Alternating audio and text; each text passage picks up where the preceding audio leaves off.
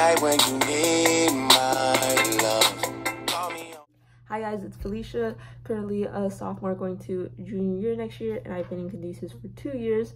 Um, and I'm so sorry I can't be there at the meeting. I am going to Taiwan. I'm running to the airport very soon. Um, but yeah, this video might be a little long. I'm trying to make this as fast as possible because I am running for two positions. Um, so, oh yeah, look, I'm wearing the Caduceus shirt. Um, and uh, the first position is the medical resource officer position. I say I qualified for this just because of the positions I have been and am in. Um, so I am, uh, I used to be a medical scribe and I'm currently working at an optometry clinic with ophthalmologists and optometrists and uh, also EMT. So working with all these physicians and um, having them speak is a great facet of Caduceus I love and I want to keep that going. And if not them, I'm great at networking, whether that's on Handshake, LinkedIn, sending emails, making calls to offices or um, I don't know, different uh, medical schools with their students or, or even alumni of UT Austin. I would love to come in contact with them and have their perspective and come in and speak to y'all. Um, other than that, I as a medical resource officer, I would love to provide actual resources. You know, um, we have that Kaplan speaker that always comes in, but what about other resources like what's best for you? So I want to give you um, all the resources possibly um, as possible.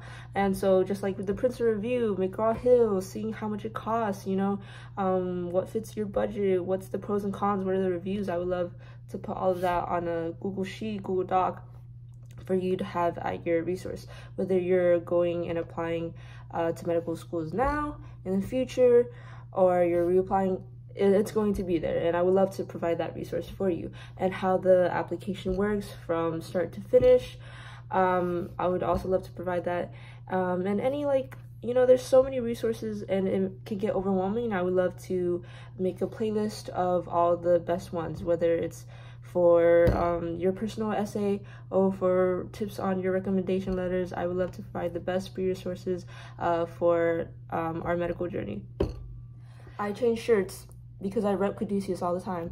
Anyways, uh, this is where I'm running for the volunteer officer if uh, Michael is running for something else, but if he's not, and if he's trying to run for a volunteer officer, y'all should vote for him because he crazy. He I love him. He's so fun and he's so nice. And but to qualify, if he is, if there's a spot open, I was a junior officer last year um, for the volunteer position, and I liked it. I liked working under him. He said, "Hey, can you find these opportunities?"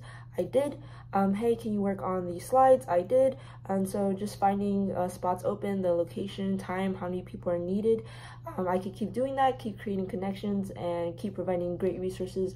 Since I had had experience as a junior officer before, I feel like I would continue and do a great job as an official officer. I want to end off saying uh, thank you to all of the people that are graduating and I hope everything goes well for you guys. You guys are so amazing and the reason why I stayed in Caduceus, you guys are so nice and fun and I love you guys so much and for everyone finishing off this semester, congratulations, we did it. All right, summer just started. Woo!